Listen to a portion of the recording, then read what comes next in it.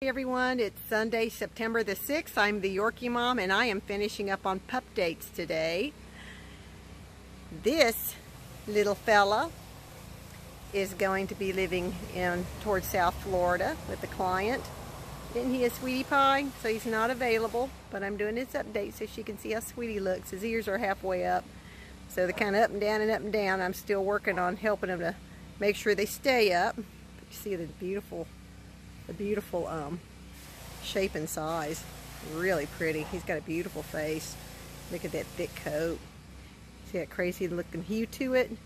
It's not really black. It's black, but it isn't.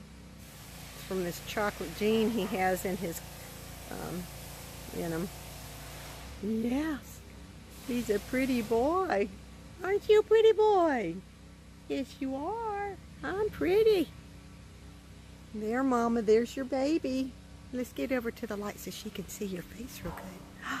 Say hi, Mama. Isn't he beautiful?